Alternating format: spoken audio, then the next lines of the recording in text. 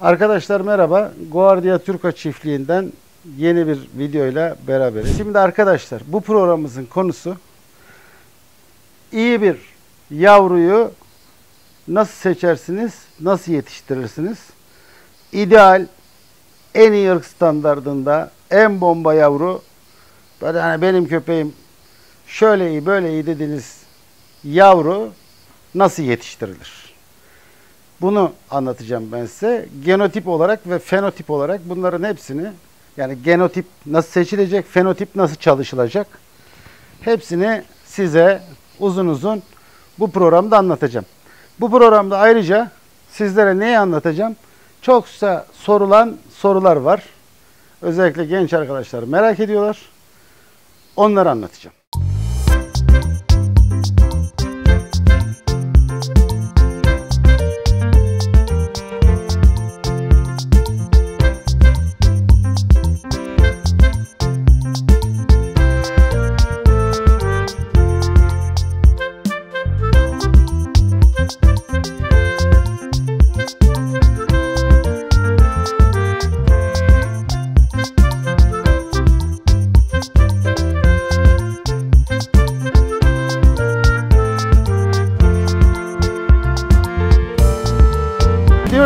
Abi yaygın bir e, inanış var.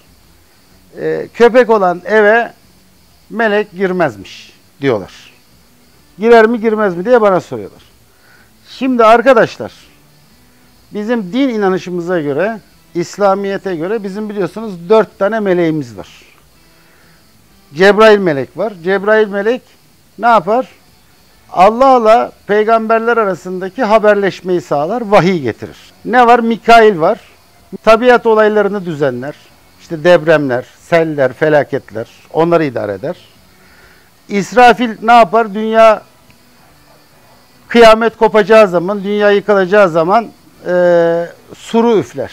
Sur ne? Kıyamet borusu. Kıyamet borusunu üfler. Şimdi geriye ne kaldı? Azrail kaldı. Azrail de biliyorsunuz can alan melektir. Şimdi son peygamber Hazreti Muhammed. Son peygamberden sonra peygamber gelmeyecek. O yüzden Cebrail zaten sizin evinize köpek olsa da gelmez, olmasa da gelmez. Çünkü niye? Sen peygamber olmayacaksın. Sen peygamber olacak olsan gelir. E şimdi Mikail'e baktığımız zaman Mikail melekte gelip sizin evden depremleri, selleri, felaketleri yönetecek hali de yok. O da sizin eve gelmez. E, kıyamet kopacağında bu sur Sırat Köprüsü'nde üflenecek. Kalkıp sizin evden üflenmeyecek. O zaten sizin eve gelmez. Köpek olsa da gelmez, olmasa da gelmez. Geriye ne kalıyor? Bir tek Azrail kalıyor. E şimdi aslında mutlu olman lazım. Yani evde köpek varsa ve melek girmiyorsa Azrail gelmeyecek. Ne güzel bak. Değil mi? Ölmeyeceksin. Yani şimdi bu hurafe. Buna inanmayın. Yani bu kedi köpekle e, meleklerin arasında böyle bir ilişki yok arkadaşlar. Bunların hepsi yanlış itikat ve inançlar. Yobazlık. Buna inanmayın. Boş verin. Şimdi ben size madem yani İslamen köpekleri sordunuz. İslamen köpeklere bakış açısını anlatalım. Şimdi biliyorsunuz bizde mezhepler var farklı farklı. Türkiye'de yoğun olarak mezhep yoğunluğu Hanefilerde. Sonra Aleviler var, sonra da Şafiler var. Ben diğer mezheplere göre de anlatayım size. Şimdi Sünni mezhebinin kurucusu İmam-ı Azam Ebu Hanife'dir. Ebu Hanife'ye göre hatta bak söz de vardır. Hanefi'nin çadırı köpeksiz olmaz. Hanefi mezhebinde köpeğin salyası hariç, bakın salyası ve teri derler de din adamları, köpekte ter olmaz. Köpekte ter olmadığı için onu geçin kenara. Köpeğin salyası olur. Köpeğin salyası dışında Hanefi mezhebine göre köpeğin size dokunması, tüyünün değmesi, kuyruğunun değmesi, evde köpek tüyü olması abdest mabdest bozmaz Hanefi mezhebine göre. Sadece köpeğin salyası bozar. Şimdi imamı İmam Şafii'ye göre baktığımızda Şafii mezhebi bu konuda daha katıdır. O yüzden Şafiler evde köpek beslemezler ya da köpeğe yaklaşmazlar. İmam Şafii'ye göre köpek abdest bozar. Yani köpeğin tüyü de bozar, dokunduğu zaman da bozar, salyası da bozar. Her şeyle Köpek abdest bozar. Bu yüzden zaten Şafiler doğru düzgün köpek beslemezler. Şafi mezhebine göre hareket ediyorlarsa. Ama bak tekrar söylüyorum Hanefi mezhebine göre Hanefi'nin çadırı köpeksiz olmaz diye söz vardır. Ee, bir de Maliki mezhebi var bunun dışında. Bizim ülkemizde Malikiler çok olmamakla beraber. Maliki mezhebine göre köpeğin salyası da abdest bozmaz. Kendisi de bozmaz, hiçbir türlü bozmaz. Yani e, artı Hazreti Muhammed'e göre peygamberimiz de biliyorsunuz hadislerde de geçiyor. Köpekleri çok sever. Hatta e, şey de vardır. Yani anlatılan anılarda bir hayat kadını hayatı boyunca günah işlemiş bir kadın aç bir köpeği beslediği için ona bizim dinimizde cennet müjdelenmiştir. Yani sokaktaki köpekleri beslemek, onları doyurmak, aç kalan köpeğe bakmak, yavrularına bakmak size cenneti müjdeler. Yani bizim dinimiz öyle hani kötü bir din değildir. Güzel bir dindir, iyi bir dindir. Hayvanları da çok sever bizim dinimiz. Şimdi onun dışında Alevi inanışında arkadaşlarımız var. Zaten Alevilik içinde köpekle ilgili bir problem yok arkadaşlar. Durumumuz bu. Şimdi bunu aydınlatmış olduk. Şimdi geçelim. Bu sıkça sorulan sorulardı. Yani bunu sık sık sormazsanız sevinirim. Ben size ayrı ayrı imamlara göre bakış açısını söyleyiverdim. Şimdi arkadaşlar gelelim köpek seçmeye. Şimdi köpek seçeceğimiz zaman ne dedik size? Bir bakın. Pet shoplardan, pet shoplardan, merdiven altından, öyle Facebook'ta benim evimde köpek yavru yaptı satıyorum ilanlarından genotip olarak iyi bir yavru alma olasılığınız çok düşüktür. Oralardan bir köpek çıkmaz. Yani doğru düzgün bir köpek. Yani 100 köpekte bir tane o da şanslıysanız size denk gelirse. Ne diyoruz? Köpek alacaksak köpek doğal ortamında, üretim çiftliğinde üretilmiş olması lazım. Bir. Köpeği üreten üreticinin profesyonel üretici olması lazım ki profesyonelliğini ne gösterir? En az o köpekten 10-12 tane köpeği olması lazım ki onu üretecek. Kan attı etkin olsun bu iki. Üç, köpeğin soy kütük belgesi olması lazım. Herhangi bir federasyondan ya da bir dernekten seceresi olması lazım, çipi takılmış olması lazım. Dört, aşılarının günü gününe yapılmış olması lazım. Aşı periyoduna uyulmuş olması lazım. Ee, iç dış parazitler uygulamalarının yapılmış olması lazım aldığınız yavrunun. Ee, diş çıkartma dönemini de atlamış olması lazım. Yani ne diyoruz? En az 60 günlük olması lazım. Yani şimdi köpeği almaya gittiniz. Genotipten bahsediyorum. Genotip genlerden gelen iyi köpek nasıl seçilir? İyi bir üreticiye gideceksiniz. Bilinçli üretilmiş bir hayvan olacak. Sol kütük belgesi olacak. Bir de yavruyu seçerken şuraya dikkat edeceksiniz. Genelde bizdeki hata şudur hayvanın tüy rengine takılı kalır insanlar. Yani işte ben şu renk istiyorum. Mesela Cane Corso istiyorum, blue istiyorum. Prese Canario istiyorum, işte şu renk istiyorum. Faun istiyorum. Ya da işte diğer için. E, Danoa istiyorum, Merle istiyorum. Harlequin istiyorum. İşte French Bulldog istiyorum, Merle olsun gibi takıntılar var. Şimdi arkadaşlar renk en son bakacağınız şeydir köpekte. Önce köpeğin bir yere basarına bakacaksınız.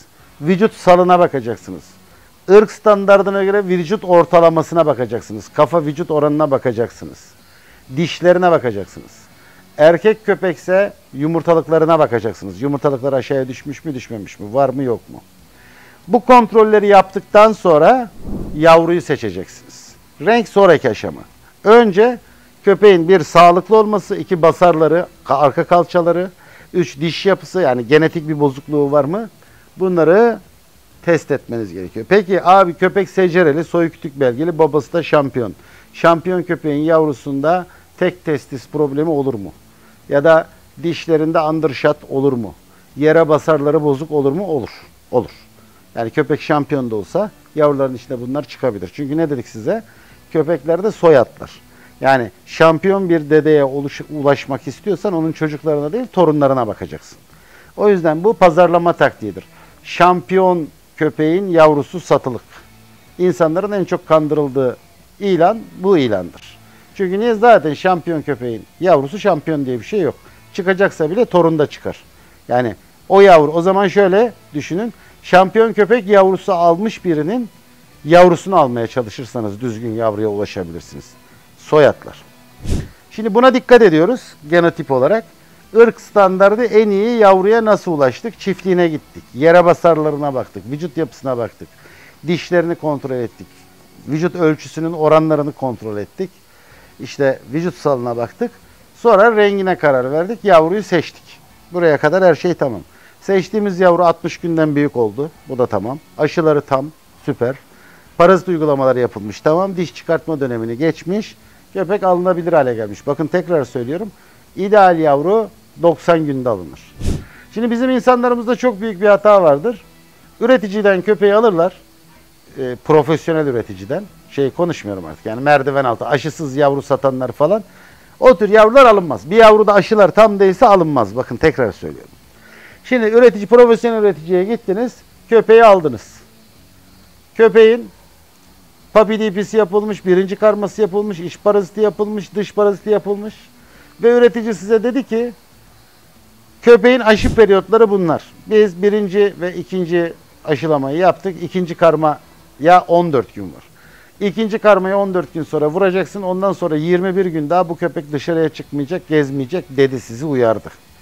Siz ne yaptınız? İkinci karmayı yaptırmadınız 14 gün sonra.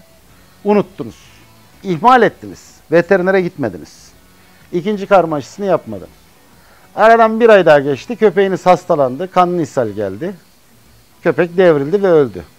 O zaman şunu da diyemezsiniz. Bu üretici bana köpek sattı. Köpek kanlı ishal oldu. Köpek öldü. Bunu diyemezsiniz.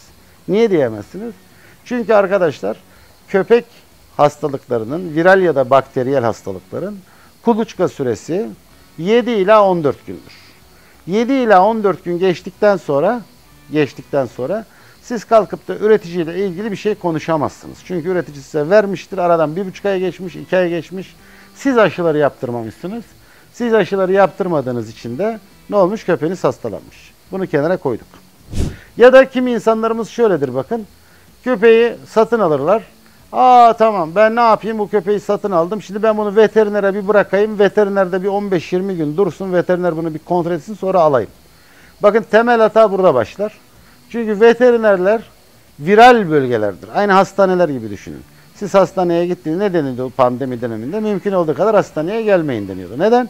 Çünkü virüs ve bakteri tedavi merkezinde olur. Çünkü hastaların hepsi oraya geliyordur. E şimdi siz götürdünüz köpeği veterinere bıraktınız. Üşendiniz tabii evde 15 gün bakmaya. Dediniz ki 15 gün burada dursun, birazcık daha gelişsin. Ondan sonra biz dediniz alırız. E zaten köpeği siz virüsün içine götürdünüz. Veteriner orayı ne kadar dezenfekte ederse etsin, gün içinde gelen hastalar akşamdan akşama dezenfekte ediyorsa, gün içinde gelen hastalardan bu köpek viral ya da bakteriyel her hastalığı kapabilir. Şimdi buna da dikkat edin. Devam ediyorum çok sık rastlanan hastalıklar, işte sorunlara. Şimdi aileler geliyorlar, aa biz köpek istiyoruz. Tamam kardeşim. Köpeği alıyorlar, gidiyorlar, ertesi gün arıyorlar. E bu her yere çişini yapıyor. Biz ne yapacağız? Bunu iade mi edelim? E şimdi sizin kendi çocuğunuz olduğunda, çocuk altına kaçırdığında, bebekken altını doldurduğunda, altını pislediğinde götürüp yetimhaneye mi veriyorsunuz köpeği? Hayır. Ne oluyor? Tuvalet öğrenene kadar bekliyorsunuz. Bir köpeğin tuvaletini öğrenmesi, siz kendiniz disiplinliyseniz ve disiplinli davranırsanız, bir köpeğin tuvaletini öğrenmesi 3 ila 7 gündür. 3 ila 7 gün içinde 3 ayı doldurmuş 4 aya yakın olan köpekler hem büyük dışkısını hem küçük dışkısını öğrenirler. Ancak yavru küçükse 60 günlük civarındaysa 60 günlük yavrular 60 günden itibaren büyük dışkılarını öğrenirler. Küçüğü tutamazlar. Niye tutamazlar? Çünkü idrar yolundaki kaslar daha gelişmemiştir. Bu kaslar 4. ayda falan gelişir. O yüzden çişi öğrenmiyor diye elinize gaz alıp köpeği hırpalamayın. Çişi zaten öğrenemez. Öğrense de tutamaz. Çünkü kasları gelişmemiştir. 90 günlük bir yavru alırsanız bu 90 günlük yavruya bir hafta 10 gün içinde eğitimi verebilirsiniz. Neden? Çünkü idrar yolu kasları gelişmiştir. Daha küçük yavrularda idrar yolları kasları gelişmediği için siz onu dövseniz de, sövseniz de, zorbalık yapsanız da o köpek çişini öğrenemeyecektir. Öğrense bile tutamayacaktır. Çünkü o çişi tutacak kaslar daha gelişmemiştir. Şimdi bunu da verelim size bilgi olarak. Şimdi genotip olarak en iyi yavruyu gen haritasından seçtik, aldık, evimize götürdük. Peki bu yavru muhteşem bir yavru olur mu? Ya da olmaz mı? Şimdi burada fenotip faktörü devreye giriyor. Fenotip dediğimiz ne?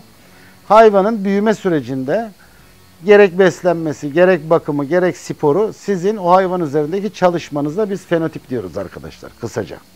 Fenotipi böyle adlandırabiliriz. Şimdi genotipi bozuk bir yavru alırsanız ne kadar fenotip çalışması yaparsanız yapın o yavrudan bir şey çıkmaz ortaya. Çok iyi bir köpeğe ulaşamazsınız. Yani vasat, kırma, kırmadan hallice bile bir köpeğiniz olur. Ancak iyi bir köpeğe ulaşabilmenin temel şartı yüzde ellisi temeli ve yarısı işin genotip olarak iyi yavruyu seçmektir. Genotip olarak iyi seçtiğimiz iyi yavruyu şöyle başlayalım. 60 günü doldurdu. Genotipi süper bir köpeği getirdik.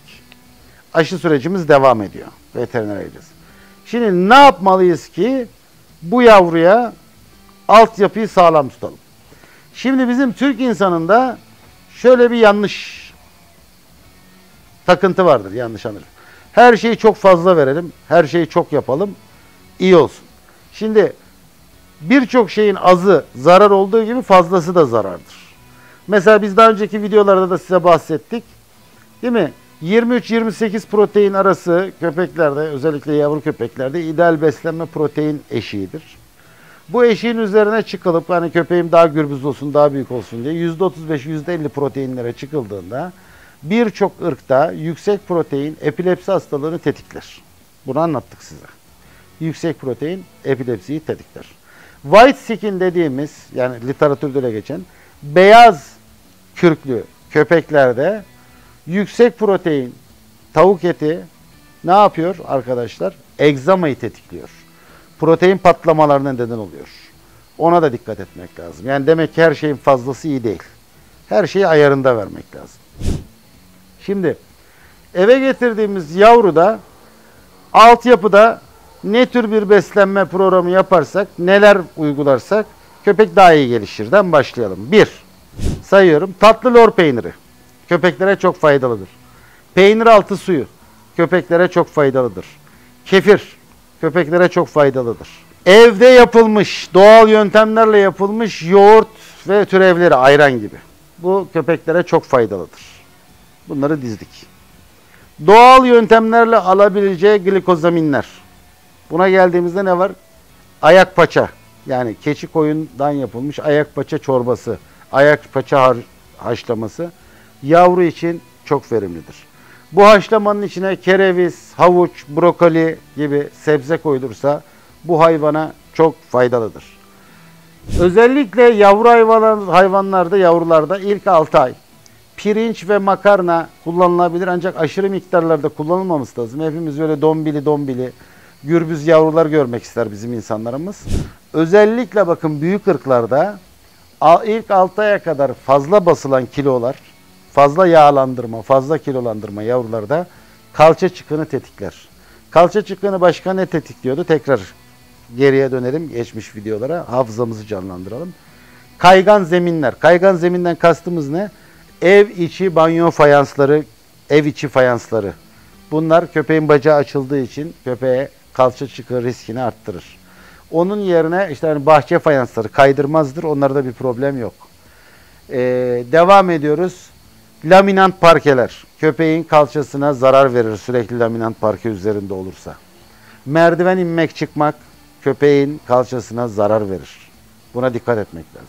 Köpeği severken kalçasına vurarak sevmek ya da köpeğim sosyalleşsin diye büyük köpeklerle bir araya bıraktığınızda diğer köpeklerin onun kalçasına basınçlı vurmaları, üstüne zıplamaları köpeğinizin kalçasına zarar verebilir. Şimdi bunlara dikkat edilmesi gereken hususlar. Bunlara da dikkat ediyoruz. Onun dışındaki beslenme faktörlerinde mama tercihlerinize geliyorum. Mama tercihiniz yavru maması ve büyük maması diye yavru mamalar satılır. Öyle oturmuş bir gelenek vardır. Bu çok doğru bir şey değildir arkadaşlar. Bu yani yüksek yavru maması denen enerji mamasıdır. Yüksek enerji mamasıdır. İçinde protein ve yağ oranı daha yüksek olur. Ee, büyük adult mama denenler daha balans mamalardır. Yani balans ayarlı mamalardır. Mesela biz ne yaptık ee, işte geçmişte mama üretirken hala aynı. İşte mamaları balans ve enerji diye ayırdık. Mesela Hunter grubu vardı avcılar için. Av sezonu maması neydi? Hunter enerjiydi. Onu yavrulara da veriyorduk. Ee, av sezonu dışı mamalarda Hunter balanstı. Onu ne yapıyorduk? e, durağan dönemde av dışında koşmayan, padokta duran köpeklere veriyorum. Şimdi köpeğinizin iyi bir köpek olması için günlük itmana ihtiyacı var. Sabah akşam bu köpeğinizin en az yarım, büyük ırklarda konuşuyorum, en fazla bir saat dışarıya çıkartılıp yürütülmesi, koşturulması, oynatılması gerekiyor.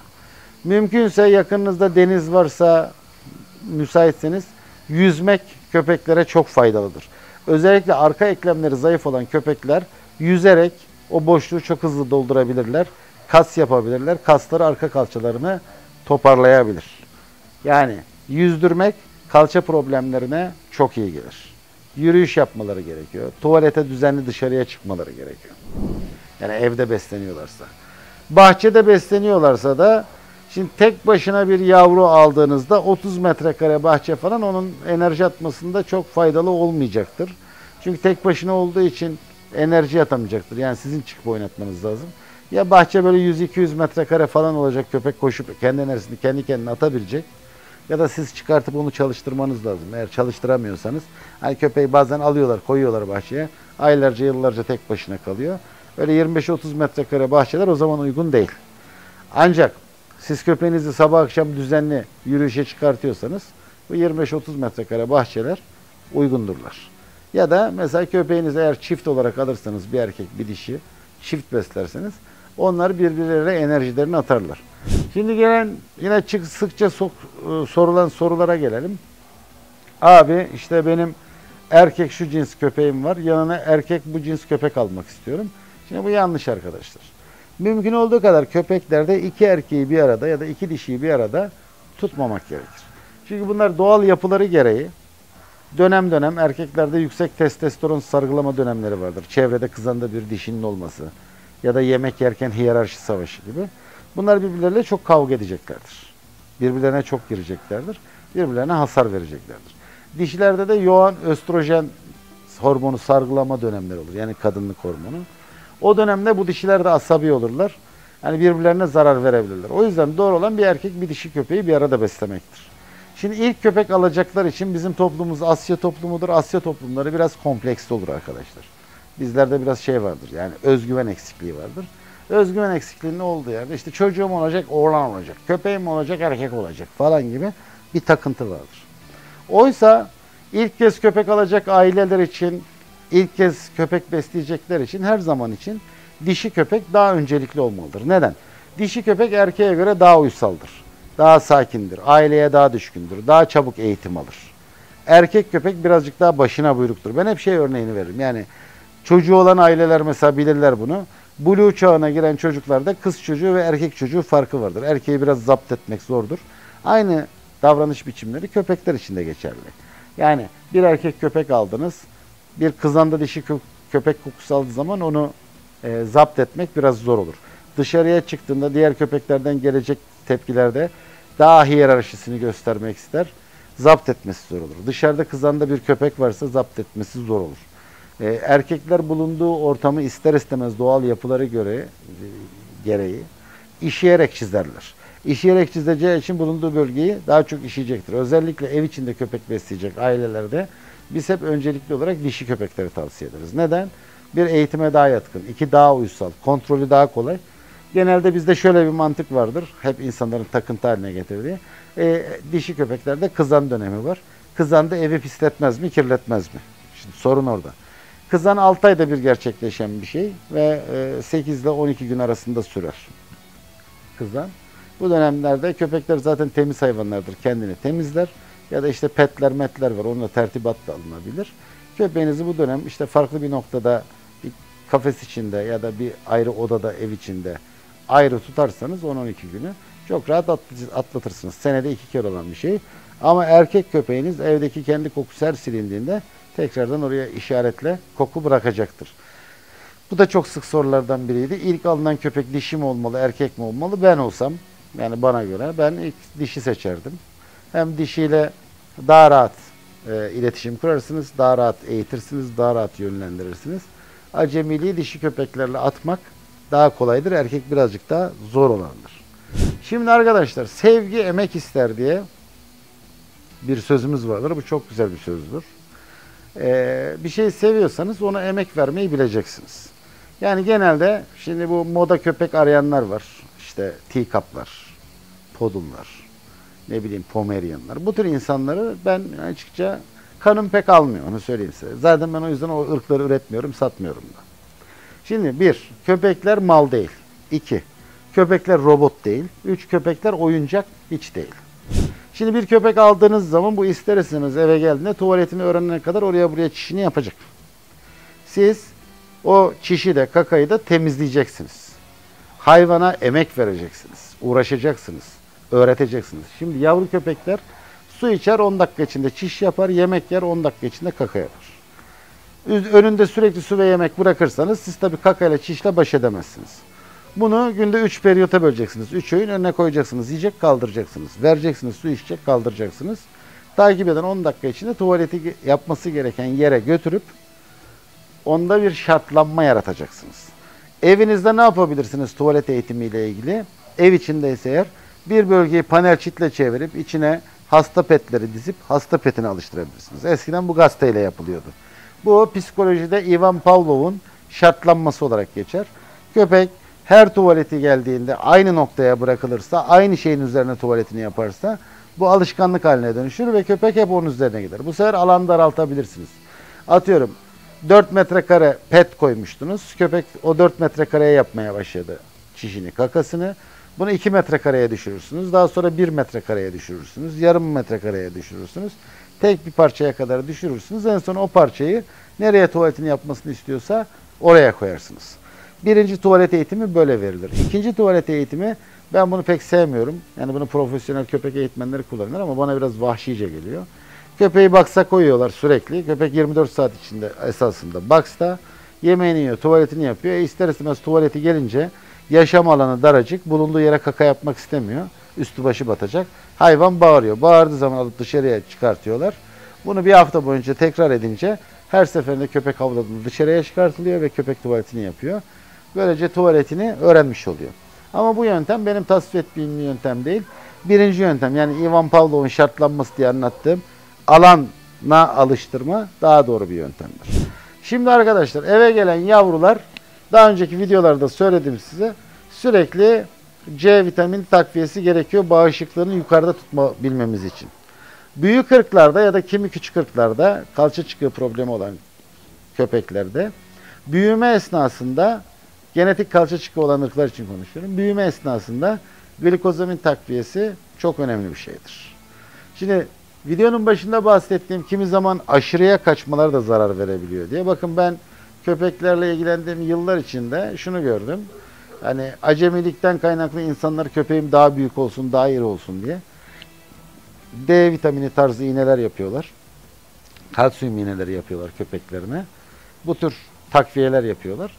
Bunlar aşırıya kaçıldığında köpeklerin kemiklerinin gelişimini bozabiliyor arkadaşlar. Yani erken katılaşmaya neden olabiliyor. Bu da büyümeye engel teşkil ediyor. Ya da bacaklar eğrilebiliyor, yamulabiliyor.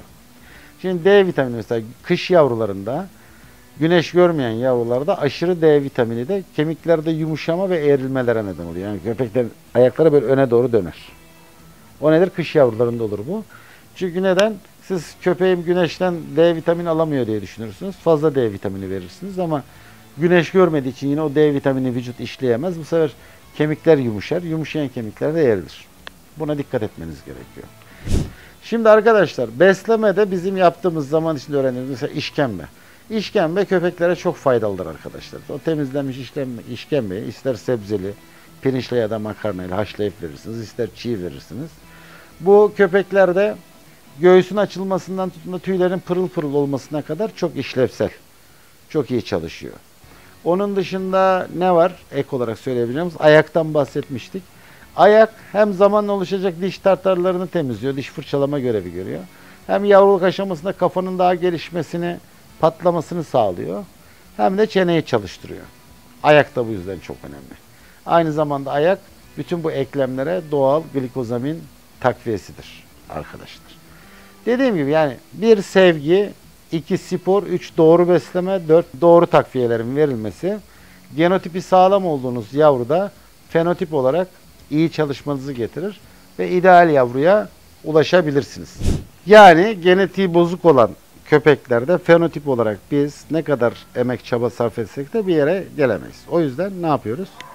Genotipi iyi köpeği alıp ona göre en iyi beslemeyi, en iyi takviyeyi, en iyi sporu yaptırırsak ve en çok sevgiyi verebilirsek hem o duygusal bağ kurarız hem de ideal köpeklere ulaşmış oluruz.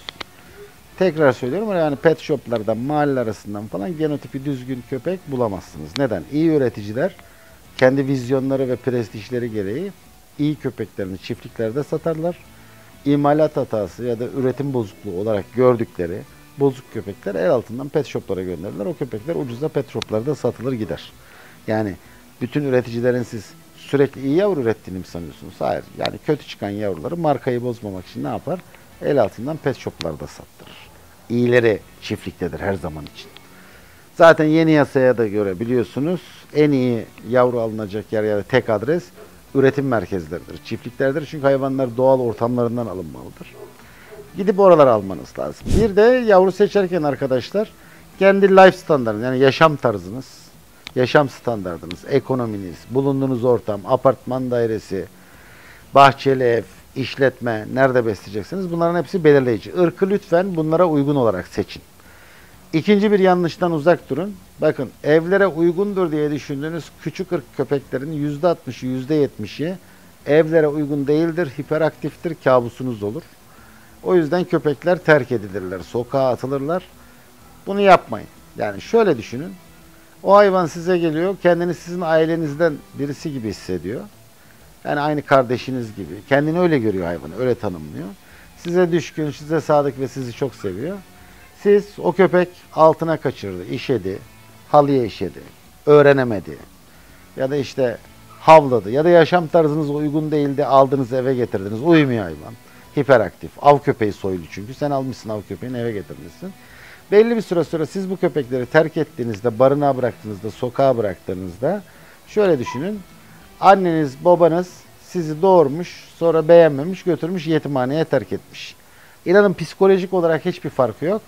Ve bu tür yavrularda çok ciddi psikolojik travmalar oluşuyor. Güvensizlik, korkaklık oluşuyor ve bunlar geriye dönüşümü olmayan, tedavisi olmayan hasarlar bırakabiliyor köpeklerde. Bu çok acı bir olay. Yani kedi de olsa, köpek de olsa yaşadığı ortamdan atılmamalı, terk edilmemeli. O yüzden köpek alırken 3 kere düşünün, 5 kere düşünün. Terk edeceğiniz bir yavruyu almayın. Bakın öyle köpek beslemek, aa benim köpeğim var falan filan kolay değil. Emek istiyor. Ciddi emek istiyor, ciddi disiplin istiyor. Uykundan fedakarlık edeceksin, erken kalkacaksın, onu yürüyüşe çıkaracaksın. Tuvaletini temizle, yani bok temizleyeceksin yani. Şimdi bok temizlemekten rahatsız oluyorsan, su senin mideni bulandırıyorsa köpekten uzak duracaksın. Yani herkes köpek beslemek zorunda değil. Herkesin köpeği olmak zorunda da değil. Onun bir can olduğunu, size duygusal anlamda bağlandığını ve onu terk ettiğiniz zaman onun çok üzüleceğini, travmalar yaşayacağını, psikolojisinin bozulacağını hiçbir zaman unutmayın. Şimdi genç kuşaklardaki arkadaşlara söylüyorum. Bakın bu köpekleri boğuşturmak, köpekleri dövüştürmek. Senin kimi güçlü, benim kimi güçlü. Denemeleri çok kötü şeyler. Bunlar acizlikten olur. Bunlar kompleksten olur. Bunlar korkaktan olur. Bakın o köpeklerin dövüştüren adamların hepsi korkaktır. Kolpaçinodur adamlar. Kendisi hayatta yapamadıklarını köpekler üzerinden yapmaya çalışır. Yani kendine güvenen, güçlü, delikanlı, kabadayı bir adamın köpek dönüştürme ihtiyacı falan yoktur yani. Onu söyleyeyim size. Yapmayın. Yapmayın yani. Her ırkın içinde güçlüsü de vardır, güçsüzü de vardır. Şimdi yarın şu köpek ırkın mı güçlü, bu mu güçlü? Yani zayıf, güçsüz bir kangalı bulursun. Karşısına güçlü bir Dogo Argentino koyarsın. Dogo Argentino kangalı yenmiş olur.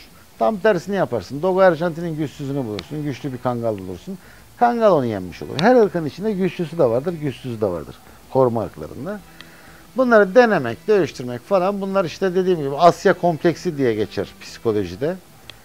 E, aşağılık kompleksi kaynaklı hareketlerdir. Bunları yapmayın gençler. Yani köpek dövüştürmeye ihtiyacınız yok. Onun yerine köpeğinize kim daha iyi bakmış, kimin köpeği daha güzel yürüyor, kimin köpeği daha güzel e, eğitim almış, kimin köpeği daha iyi koşuyor gibi yarışmaları düzenleyecekseniz böyle düzenleyin.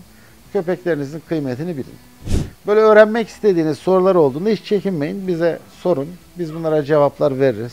Hiç çekinmeyiz. Bakın yani siz bana İslamen köpeği sordunuz. Ben size üç ayrı imama göre bakış açısını anlatıverdim. Her imama göre. Nasıl bakıyorlar anlatıverdim. Biz araştırırız. Yani bildiğimizi söyleriz, bilmediğimizi araştırır, öğrenir. Sizlere aktarırız. Sizden ricamız hayvanlarınızı sevin. Çünkü onlar sizi zaten çok seviyorlar. Ha bunun dışında mesela oradan buradan köpek alıp bana atanlar var. Abi bu köpeği ben aldım. Şöyle iyi midir, kötü müdür? Şimdi arkadaşlar ben başkasının ürettiği köpeklere yorum yapmayı sevmem. Olumlu ya da olumsuz yorum yapmayı sevmem. Bir köpeği aldığınız zaman alıp eve götürdükten sonra benim köpeğim iyi mi, kötü mü, kırma mı, değil mi? Kimseye bunu sormanıza gerek yok artık. O köpeğiniz evinize gelmiştir. O bir candır. Sizin can dostunuzdur. Onu sevin, ona kucaklayın, ona- sahip çıkın. Bu arada hani köpek satın almaya karşı olan arkadaşlar, parayla köpek almak istemeyenler, satın alma sahiplen benim için doğru felsefe diyenler. Bakın bizim burada e, Guardia Türka'nın rescue bölümü var. Yani barınak bölümü, kurtarma bölümü. Bizim burada çok ciddi sokaktan kurtarılmış, çok güzel ama muhteşem köpeklerimiz var. Bunların içinde bir yaşında olanlar var, iki yaşında olanlar var, dört aylık, üç aylık olanlar var, yavru olanlar var. Bize müracaat edip ücretsiz olarak bu yavrulardan bizden temin edebilirsiniz. Bizim bu sosyal e, projemiz olarak devam eden barınak projemiz var. Oraya müracaat edip bizden ciddi köpekler sahiplenip evlerinize götürebilirsiniz. Bunların hepsi sağlıklı köpeklerdir, aşıları yapılmış köpeklerdir, düzenli beslenen köpeklerdir. Böyle bir hayvan kurtarma birimimiz var. E, dahil olmak istediğinizde size buradan ücretsiz sahiplendirmeler yapabiliyoruz. Gelip buralardan edinebilirsiniz. Bunun dışında tabii ırk üreticiliği de yapıyoruz. Sizden ricam e, eve köpek alacaksanız maddiyatınız uygunsa para vererek alacaksanız en doğru ırkı tespit edip onu almanızı tavsiye ederim. Bu Ardiya Türka'dan bu videoda şimdilik bu kadar. Hepinize hoşçakalın diyorum. Hepinizi çok seviyoruz. Çiftliğe bekliyoruz. İsteyen herkes çiftliğimize gelebilir. Hoşçakalın arkadaşlar.